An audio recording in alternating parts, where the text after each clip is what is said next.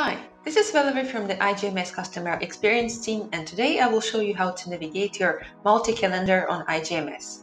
Our new multi-calendar allows you to view all reservations from vacation rental platforms, including Booking.com and manual bookings in one place, manage availability and minimum stay settings for your properties, change the pricing across the channels, coordinate cleaning and maintenance activities. Let's first discover multi-calendar view settings. To view your calendar from a certain date, go to the date picker in the upper left corner. Click on the down arrow button and on a calendar navigate to the needed date. To view past or future dates, use the two buttons with the arrows. Finding a specific property is much easier with our new multi-calendar. It has a search bar where you can find the needed unit by name, address, or label. This feature was designed specifically for vacation rental managers who run multiple properties. By default, the multi-calendar has a landscape-only view of the whole year, but you can also check the monthly and yearly view for individual properties in the booking calendar.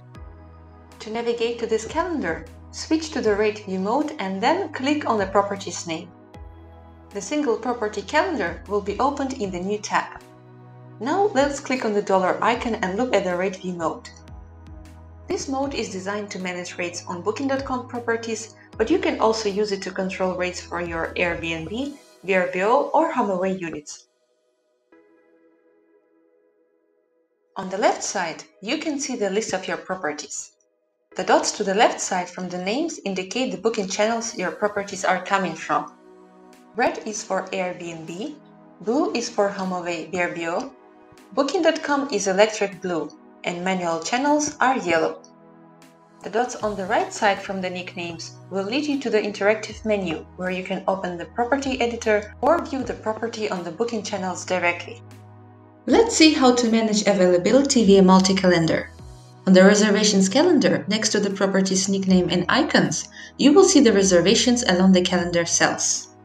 There are three types of reservations on IGMS multi-calendar.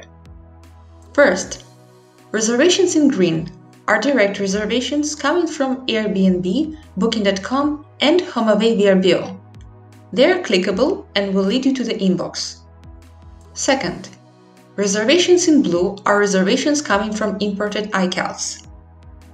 Third, black, violet, lilac, rose, or any custom color refer to manual bookings created directly in IGMS.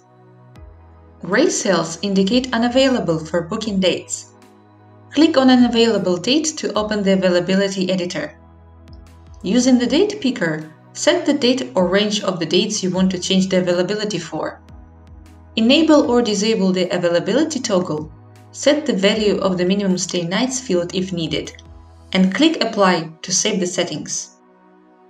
Lastly, let's take a look at the general settings of the new multi-calendar.